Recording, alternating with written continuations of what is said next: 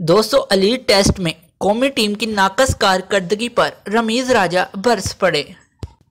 दोस्तों अलीड में जारी दूसरे टेस्ट मैच में पाकिस्तान की बैटिंग लाइन रेत की दीवार साबित हुई और पूरी पाकिस्तानी टीम ऑस्ट्रेलिया की पाँच सौ अठानवे के जवाब में सिर्फ़ 302 रन ही बनाने में कामयाब हुई। दोस्तों, जिसमें यासर शाह ने सेंचुरी और बाबर आज़म सतानवे रन के साथ दूसरे नंबर पर मौजूद थे। दोस्तों, इनके अलावा कोई भी खिलाड़ी खातर ख्वाह कारकर्दगी दिखाने में कामयाब ना हो सका।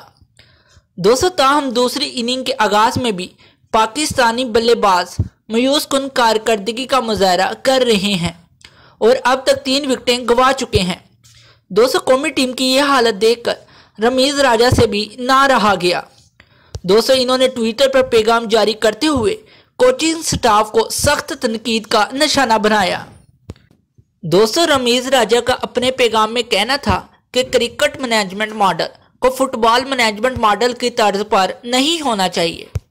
तो रमीज राजा ने पीसीबी के कोचिंग स्टाफ पर तनकीद करते हुए कहा कि पे दर पे शिकस्त या फिर एक से दो मार की बुरी कारकर्दगी को कोचिंग स्टाफ को तब्दील करने के लिए काफ़ी होती है।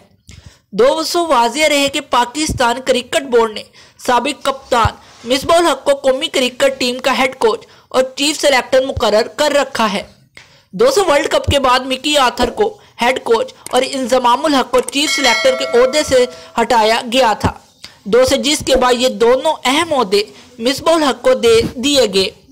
दोस्तों क्या मिसबाउल हक को हेड कोच और चीफ सेलेक्टर के अहदे से हटाना चाहिए या नहीं, हमें अपना जवाब कमेंट में लाजमी दें।